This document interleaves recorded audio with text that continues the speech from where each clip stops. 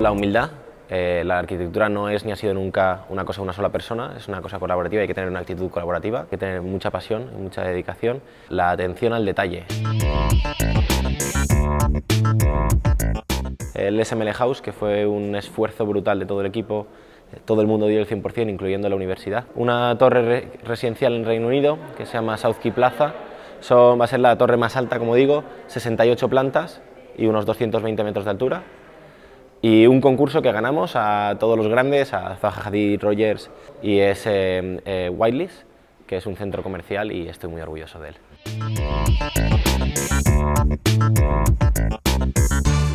La pasión por la arquitectura. Eh, siempre he sentido desde que estuve en la escuela mucha pasión. Eh, la actitud, el can-do attitude. Yo lo puedo hacer, yo lo voy a conseguir. La perseverancia, estar ahí trabajando muy duro. Foster Partners se ha caracterizado desde que lo fundaron por la sostenibilidad.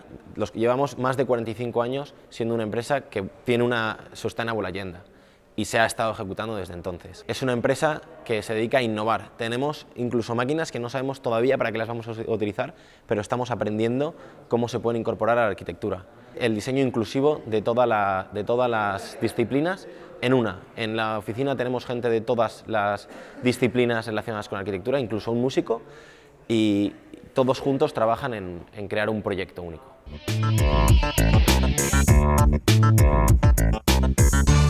Me gustaría que pensar, pensar que con el trabajo que yo he hecho he sido capaz de mejorar la calidad de vida de las personas que habitan los espacios que yo he hecho. También quiero dedicarme a, coger la experiencia que yo tengo y transmitirla a otros, bien sea en, aulas o bien sea mentorizando a gente en el estudio.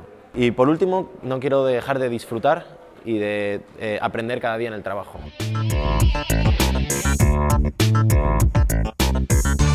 Los fundamentos técnicos que me ayudan a desarrollar mi profesión con total competitividad, eh, la pasión por el diseño y la oportunidad de hacer workshops y talleres que te sacaran del aula y te sacaran de tu comfort zone y, te dedicaras un tiempo a pensar en una, en una creación arquitectónica. Estaba muy bien.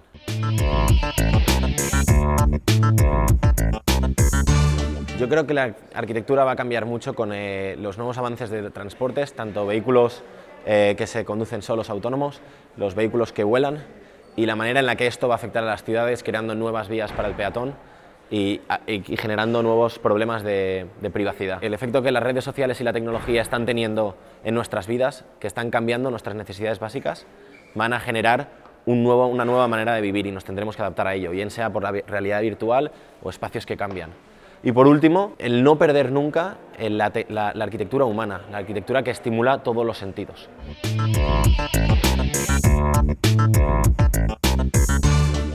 Nunca terminen de jugar y que jueguen a explorar, que, que exploren lo que, lo, que, lo que hay por ahí. ¿no? Segundo, que copien lo que ya se ha hecho antes y que traten de mejorarlo si pueden. Y por último, que disfruten de su pasión todos los días.